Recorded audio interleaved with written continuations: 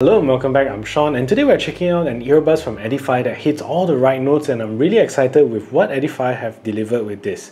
So let's check it out. So the first thing that I love about these earbuds is the battery life that you get and with ANC off you're getting a whopping 17 hours with these earbuds and 39 additional hours with the case and with ANC on you're still getting a 12 hours battery life with the earbuds and 28 hours with the case. And Edifier rated this battery level when playing with AAC codec with 80% volume level which is really quite impressive. And not only that, you also get quick charging with this earbud, so a quick 15 minutes charge will get you 5 hours of battery without ANC. And the next thing that I absolutely love about this is the sound quality that you get here, and oh my gosh is it good. And you also get a hybrid driver design with a single dynamic driver with a balanced armature driver inside, and we'll talk a little bit about sound signature a little bit on. So the next area that I love about this is the tech that you get with these earbuds, and you also get Bluetooth 5.4 with LDAC, AAC, and SBC support. You get good water resistant rating at IP55, so you get to use use it in the gym or use it running in the rain. So you get wireless charging with this case, Google Fast Pair, app support, multi-point support, as well as in-ear wearing detection, essentially getting all the features you come to expect from a TWS earbuds. So to the parts where I think that these earbuds could be better, first of all is the case material. So don't get me wrong, this is not a bad quality case per se, however you're paying quite a lot of money for these earbuds and I wish that the case material would be slightly better, that it won't be the type that would scratch easily. So the good news is that the material you get with the earbuds is actually really good. So the second thing about them is also the size of the earbuds itself and these are not small earbuds and for me it works well. However, for ladies or people with smaller ears, I would imagine this could be a little too large for them. And to my surprise, that's pretty much all the cons I could think of for these earbuds. This featured pack earbuds comes in at a price of 113 US dollars or around 499 Malaysian ringgit and as far as high-tech earbuds that sounds good, I think you can't get better value than this. And if you find value in what you hear and like what you see so far, do subscribe to the channel and ring the notification bell so that YouTube algorithm can pick this up. And Edifier will also be running some promo from time to time, so do check out the links below for its latest pricing. So to the part that I'm really excited, the sound quality on this earbud is really good and I'm impressed because I'm running this in LDAC codec in high-res wireless, which usually calms down the bass to a more crisp and flatter sound signature.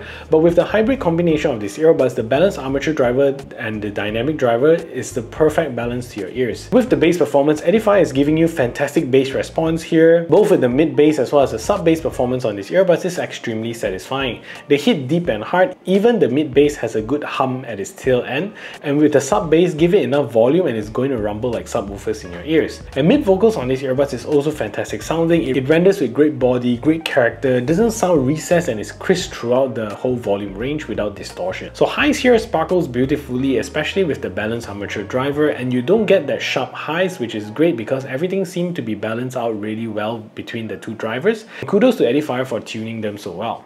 So this is a test to see if the Edifier Neo Dots is a good earbuds for making phone calls. So this is me speaking in a relatively quiet environment and this is the call quality that you can expect. So what I'm going to do now is to turn on a simulated background noise so you can hear a difference. So now there's a simulated background noise playing in the background and this is the call quality that you can expect from these earbuds. So what do you think of the call quality? Let me know in the comment section down below.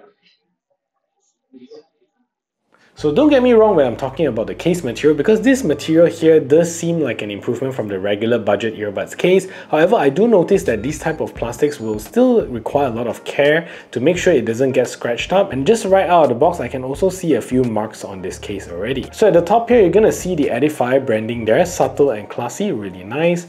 And at the back of the case is the Type-C charging port to charge the case up. And this earbuds also supports wireless charging at the bottom. So just stand this up on a Qi wireless charger and it'll be able to charge wirelessly. So there is also a button at the side of the case to reset the button as well as to put it into pairing mode.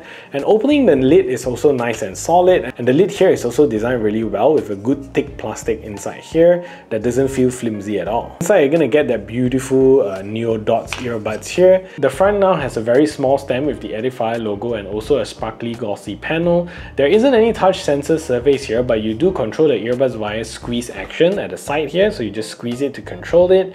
And at the front here is also an AirPods Pro style ear tips but slightly larger than normal so if you have smaller ears they might not fit so well and overall I think this is one of Edifier's most beautifully designed earbuds. So volume is also good with the Neo Dots and I get to a comfortable listening volume at around 30% volume and I would get to a loud volume at around 60% volume so plenty more power to go and with the 60% volume you're already getting good amount of bass very impressive. With the Edifier Connex app, you're getting very familiar features. Here at the home page, you see your beautiful earbuds with the easy to read battery percentage for the earbuds and the case. At the top is also the high-res audio logo that will light up if you're running LDAC codec. And below that, you get to choose the ANC controls and you get to choose between high, medium and low ANC. Ambient sound gets plus 3 and minus 3, so you get to boost it up if you really need to hear your environment. And you also get wind reduction and ANC off. Under the sound effect is where you get to choose between the three presets, classic, heavy bass, which is my favorite, and also vocals. You also get a 4-band manual EQ and with Q factor and frequency adjustments to adjust each bar accordingly. Below that is also gaming mode and also media playback. And so there are a few notable features under settings. You're going to get your control settings to remap the squeeze control of your earbuds, HD audio codec to toggle whether to prioritize LDAC mode or not, and you also get press sensitivity adjustment wear detection, multi-point connectivity, as well as to update the firmware when there's a new one. That's pretty much all the features you get with the Edifier Connex app. So the NeoDots does this really well with ANC and does a great job in managing all the low humming noises and human chatters. With noises like the airplane cabin noise or the road noise test, the earbuds manage to cancel out almost everything especially when you have soft music playing. It does it so well that I had to remove the earbuds to ensure that the sound is playing. So if you have a decent enough volume going for your media, then this is a very serene and quiet earbuds to use.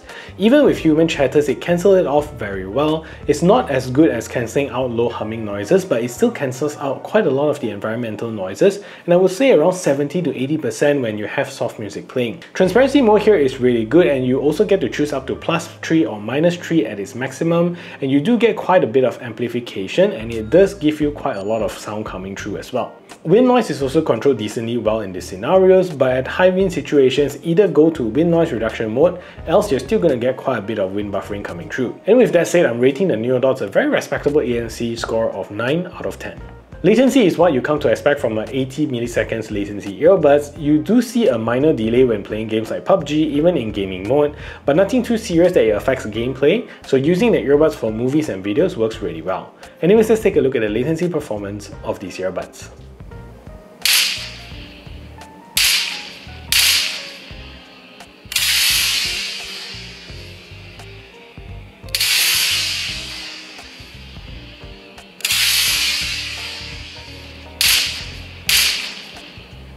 Overall, I think this is a fantastic sounding earbuds, great performance, good ANC and all around good featured earbuds. So for this price, I think it's a steal and can outshine any flagship earbuds from big brands. Most importantly, you get that insane battery performance and if you want to also check out Edifier's latest flagship earbuds, you also need to check out the Edifier Stax Breeze S10 right over here and I'll see you over at that video.